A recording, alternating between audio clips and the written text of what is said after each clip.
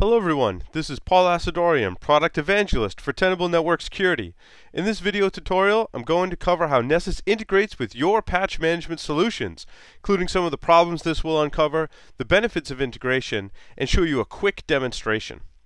First, I wanted to cover how patches may fall off of a system. This can be caused when maybe a backup is restored and that backup doesn't have the patches that were applied recently, an older version of the application is installed, or maybe two instances of the application exist but only one was patched. Also, your patch management system may lose track of a system due to the it moving around on your network, uh, going from building to building, and the patch management system loses track of it and doesn't apply the latest patches to it. So you end up with a situation where a certain percentage of your hosts end up missing patches even though you have a really great patch management solution.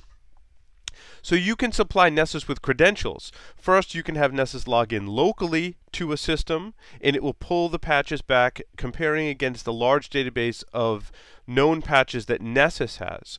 You can also integrate with the patch management solution that you have. So if you don't have credentials for a system, Nessus can pull down the results for your patch management solution and get patch level information for hosts that you don't have credentials for. Also, when you supply credentials to Nessus now, you can get the information from the target itself and the patch management solution, and now Nessus will create what I like to call a matrix.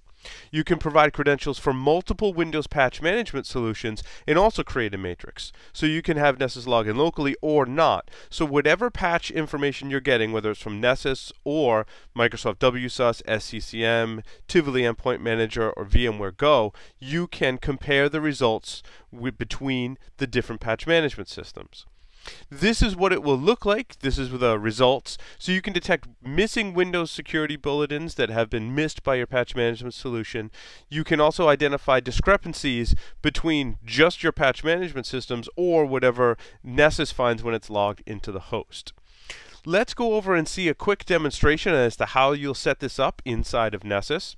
Very quick, the policy that I've used to create some of the data that's in the results section if you go on over to the patch management and the SCCM server settings, you can see I've configured SCCM. I've told it what the server is, the domain, and I've provided some credentials to it. So that's needs to be in your policy in order for all of this to take place. So then once I run that scan, I come to my results. And here are some results that happened when I configured patch management systems, multiple ones, uh, for the creden credentials inside of Nessus. And I also configured it so that Nessus could log into the end user systems. And I go to the new plugin, Patch Management Windows Auditing Conflicts. If I scroll down to the bottom, I can look at the, all of the hosts that did have conflicts, and I can see what those conflicts were. It's very nicely spelled out for you. Nessus reports that this host is vulnerable and is missing MS11049, while IBM's Tivoli, Tivoli Endpoint Manager is not reporting vulnerable. Then I can go back to hosts, and I can go back to that specific host, and I can go into this where it says, hey, this host is missing MS11049.